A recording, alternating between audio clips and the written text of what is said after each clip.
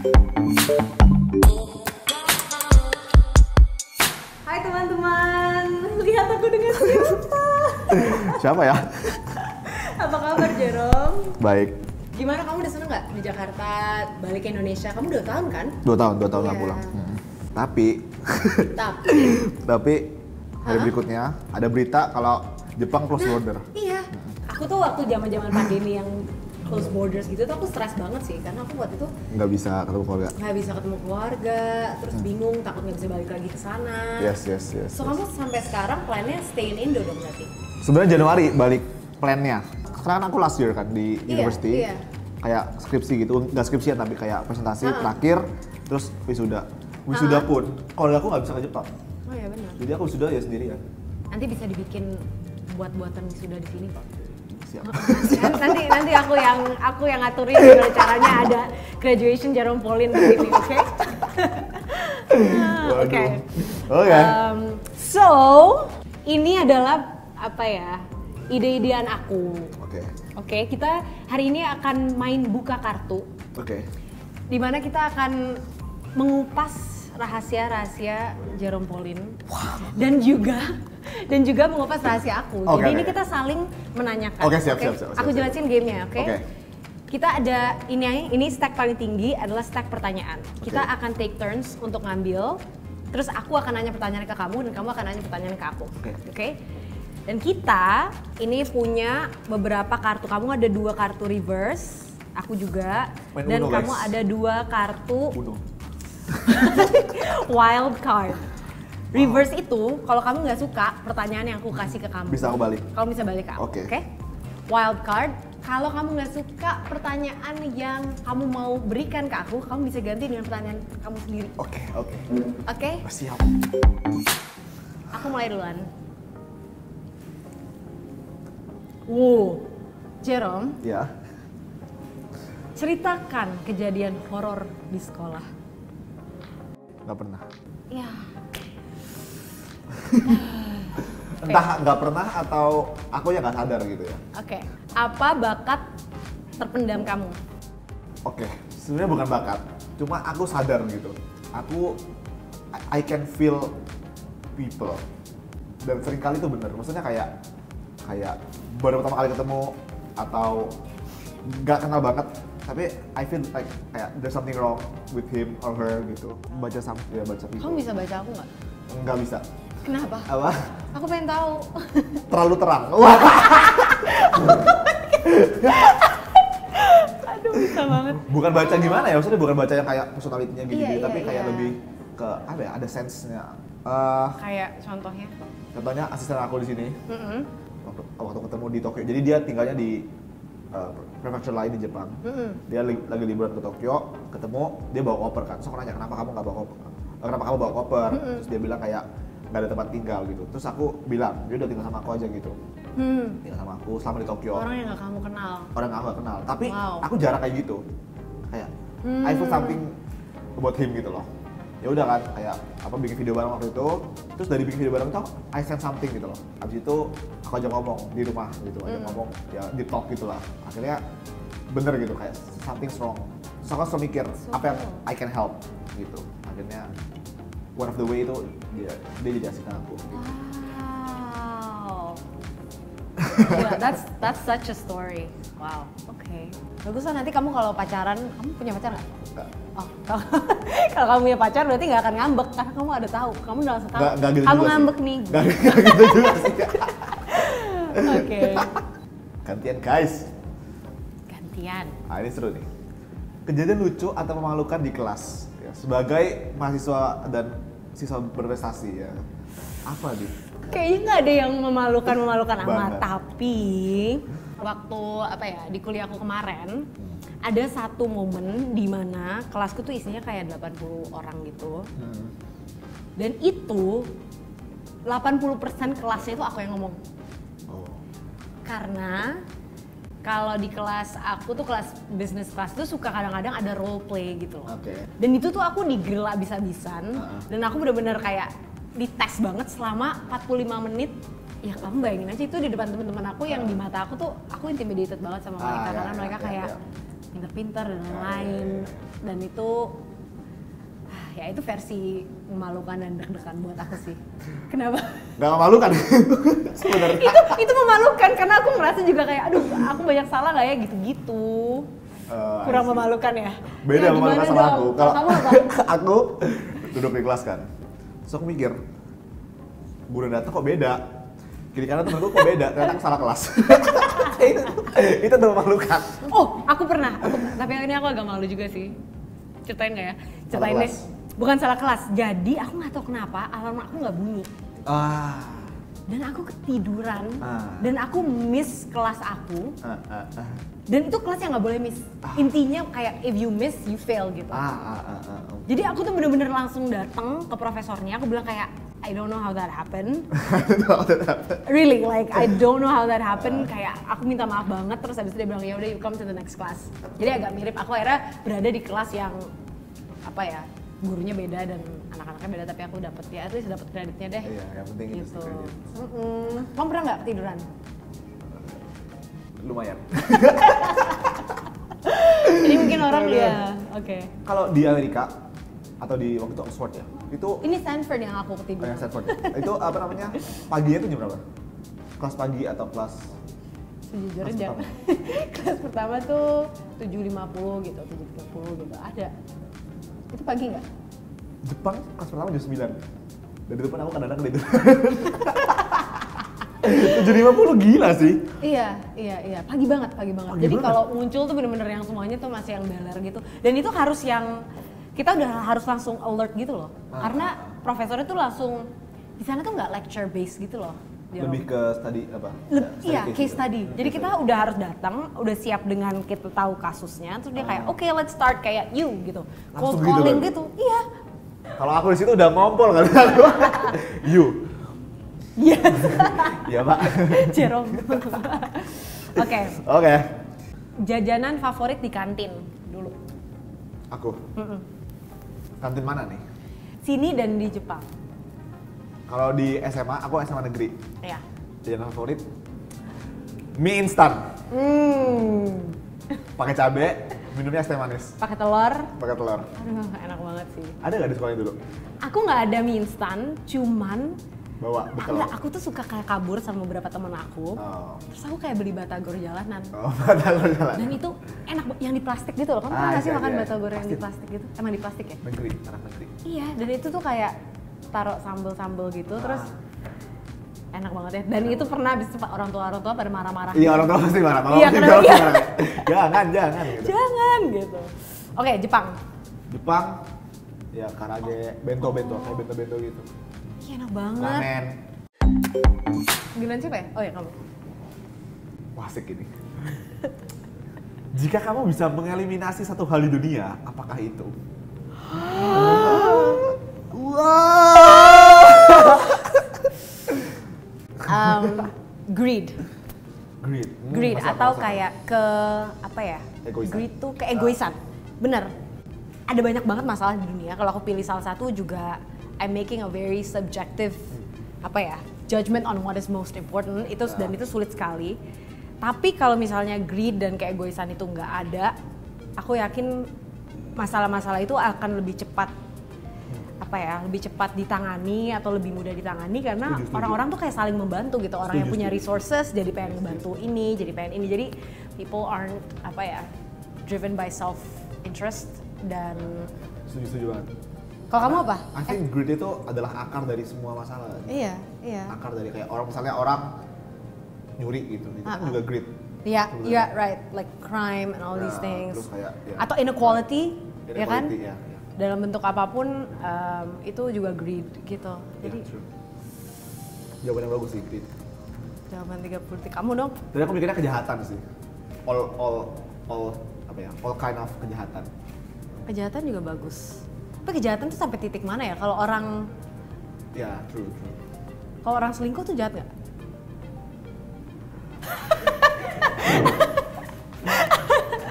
Enggak maksudnya itu itu dalam kategori kejahatan nggak buat kamu? I mean like kejahatan as in uh, Evil ya? Are you talking about Evil. like? Kayak- Oh. ya selingkuh jahat kalau ada yang tersakiti gitu loh. Jadi kayak menghilangkan segala bentuk tindakan yang menyakiti orang lain. Wadidaw. Wow. Oke. Tapi kan juga grit kak, selingkuh. Iya sih, sebenarnya, habis itu benar, kayak, benar. Aduh pingin lagi nih gitu, pingin yang lain nih. Bener, bener, bener. Grit juga. Ujungnya grit sih.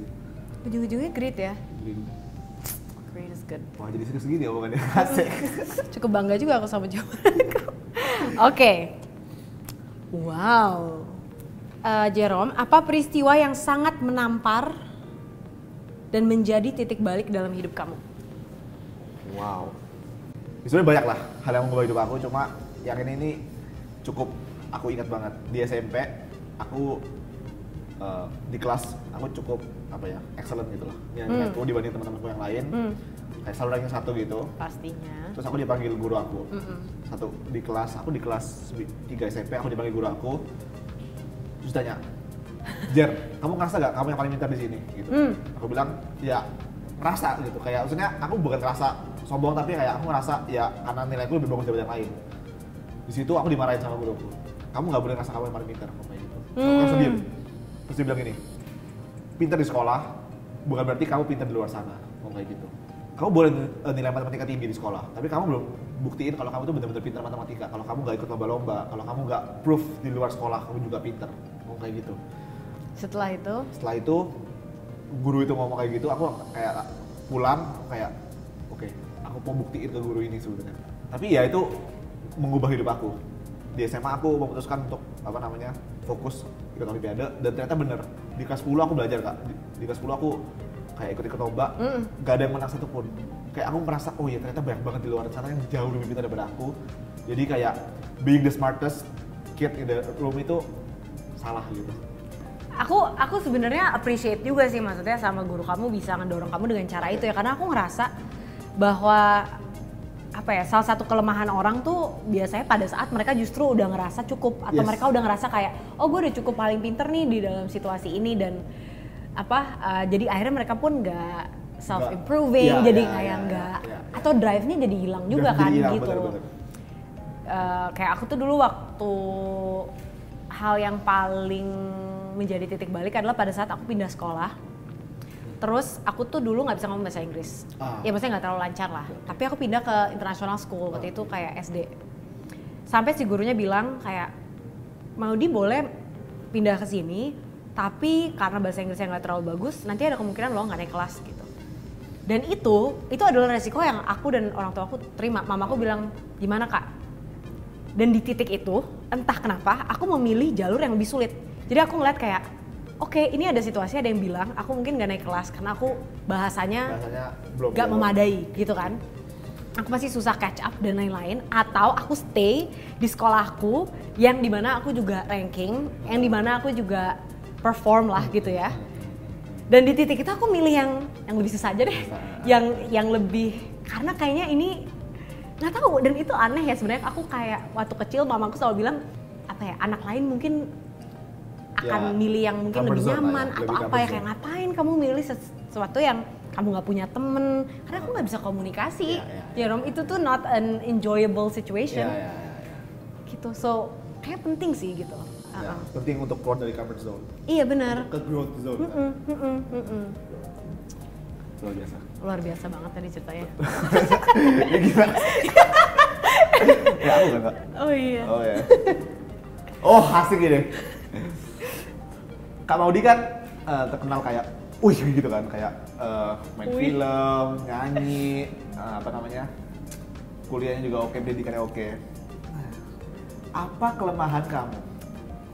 Asik. aku tuh orangnya overthinker gitu. Overthinker. Overthinker. Jadi ada beberapa hal yang terlalu banyak aku pikirin em, sampai akhirnya aku bingung dan aku stres sendiri. Ah. Itu sempet gitu. Aku nggak tahu deh, kamu orangnya kayak gitu nggak ya? Kayak kamu orangnya lebih go with the flow ya? Enggak juga. Oh, Nggak juga. Nggak Oke. juga. Nanti aku mau tanya abis ini. Aku juga terakhir-terakhir ini nih ya susah make decision. Oh, Yang bener-bener yang pert gitu.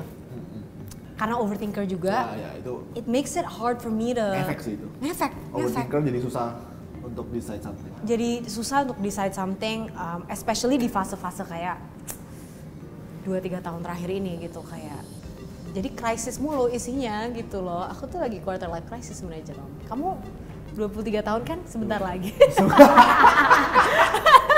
ah Kalau kalau kamu tadi gimana? Overthinker. Overthinkernya Juga? Ada aku, juga? aku tipe overthinker sih. Mikir terus gitu. Emang suka mikir kan dari kecil. Cuma kayak hobi mikirnya itu jadi kebawa-bawa sampai apa ya kayak masalah gitu. Kayak misalnya YouTube. Aku punya ide untuk mulai YouTube tuh dari setahun lalu gitu. Setahun lalu sebelum aku mulai gitu. Setahun sebelum aku mulai YouTube. Nah, Jadi, ak- for ya. one year aku tuh mikir terus. Kayak Aduh, aku relate banget. aduh nggak bisa edit. Aduh nggak bisa ini nggak bisa Aduh, ini, relate bisa ini, banget. bisa ini. Sampai Iya. akhirnya setahun itu akhirnya aku tanpa mikir oke aku coba dulu aja coba mulai dulu from the easiest step Hmm, hmm. setelah itu ternyata kayak step itu kebuka gitu loh Betul, Tapi sebelum betul. kita mulai itu pikirannya itu kayak Bener. Aku juga sangat percaya itu bahwa at the end of the day mulai aja karena kalau kita nggak mulai, Iya, iya, iya, iya, iya. ya akhirnya nggak ada yang harus kita pikirin Bener, juga bener, kan bener, gitu. bener, iya. Karena karena ya mungkin kecenderungannya kalau overthinker juga agak agak lebih perfeksionis gitu kan. True, true, kayak true, lebih true, kayak true, true, true. kalau belum bisa iya. kayak nggak Iya, iya, usah. iya, iya, iya, iya, Ya kan, iya, ya iya, kan? iya. bener bener jadi kayak pingin perfectin dulu semuanya baru ini tapi kayak pikirannya untuk ngeperfectin aja itu nggak mau mulai gitu loh karena Bener. aduh, panjang nih prosesnya gitu Iya. bener bener bener true true true true true perfectionist banget aku banget Ternyata kita punya kesamaan. Yes. Muka juga, perfeksionisme juga. komen ya guys ya mirip gak sih soalnya banyak yang bilang mirip Oke, yang ini yang ini seru juga. oke Ini penting banget. oke Aku mau nanya, apa sih tips anti sedih Waduh. versi kamu? Ini pas banget buat Jerome bukan? ini mungkin relate sama kak Maudi Oke, aku sedih waktu nilai aku jelek relate gak relate gak relate. ini kalau orang-orang wah, wah. Kesel pasti. What? ya aku sedih ketika nilai, Nilai kamu jelek. Sampai sekarang pun. sekarang udah lebih gak sedih Oke. kalau soal yang kalau yang lain sih jarang sedih sih. Oh ya? Itu gimana? Makanya nih Mbak, aku pengen tahu. maksudnya yang bikin sedih apa ya bang Iya banyak ya, misalnya kamu dimarahin orang tua atau misalnya kamu suka sama seseorang terus dia nggak naksir balik. Ah. atau yang itu misalnya eh, dari dulu udah biasa sih. Oh jadi udah nggak sedih lagi? Udah gak sedih. Suka sama suka sama orang yang gak suka. Tapi gak suka sama gak suka sama orang yang suka. Relate gak? really Nah, yang suka itu adalah gitu. Cuma aku kok gak suka ya sama mereka gitu. Kamu orangnya bisa bete nggak? Atau bisa, Bisa, kayak bisa kesel? banget, bisa banget, bisa banget. oh jadi bisa ya kesel bisa ya? banget tapi I just don't show it. Kamu ada tips nggak yang kamu bisa share apa itu emang kamu emang tip orangnya emang nggak terlalu kayaknya gak terlalu sih emang nggak terlalu itu itu hebat banget sih emang Kalau aku kan bete ya, aku bisa bete, aku bisa sedih. aku juga bisa cuma Iya iya iya, cuman gak gampang aja sih kayaknya kayak aku lebih gampang deh. gitu ya lebih, lebih gampang. Tapi tipsnya apa ya? Kalau aku kalau aku harus menyendiri. ah Aku tuh introvert soalnya, jadi aku tuh Oh. memang harus apa ya harus kayak ke kamar aku terus limutan terus kayak baca buku mungkin atau kayak gitu. Jadi kalau aku emang harus oh untuk recharge lagi. I see I see wild card Oh, lu deg-degan nih?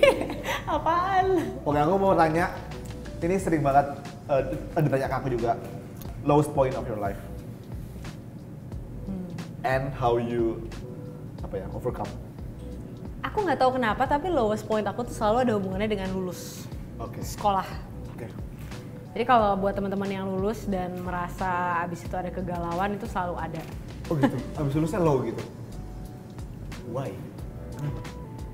Sel- karena itu kan masa-masa transisi dalam hidup, Hidup ya, gitu. ya. Dan setelah lulus itu kombinasi ekspektasi terbesar, tapi juga kebingungan terbesar.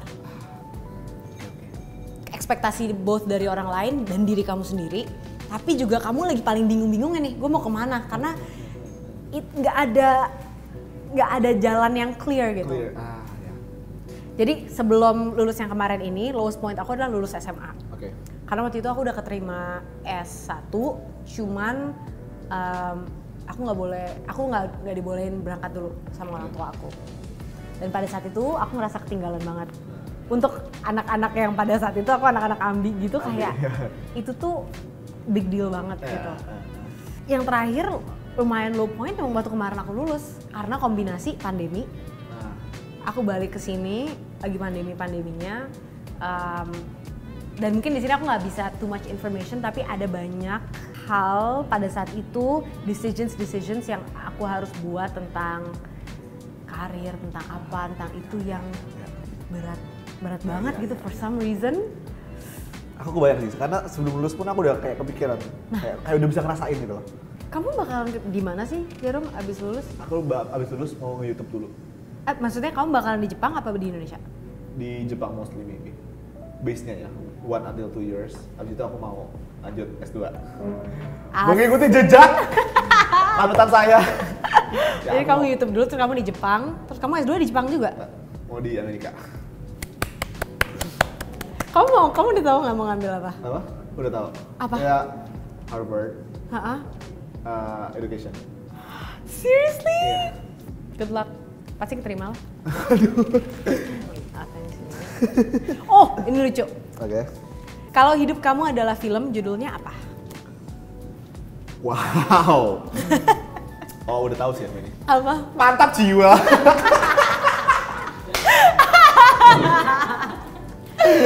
Enak ya dia udah punya tagline sendiri jadi jadi jadi bisa pilih itu. Itu dari itu sorry ya, aku tuh agak aku tahu banget kamu, cuman aku nggak tahu itu mantap jiwa dari mana. Eh, kalau nggak salah aku pernah denger ya entah pernah denger atau entah keluar dari mulut aku pokoknya sejak itu aku ngomong terus ngomong terus gitu. Dan itu sekarang udah jadi kayak signature kamu gitu ya malah. ya? jadi ya jadi signature aku Iya. mantap jiwa artinya apa nggak tahu juga sebenarnya apaan mantap jiwa aduh aku pengen nanya nih ke Kak Maudi yang sama. Kalau film apa? Ini bukan game ya. kan Oke. karena aku kan nggak pernah main film. Nah kalau sebagai uh, pemain film?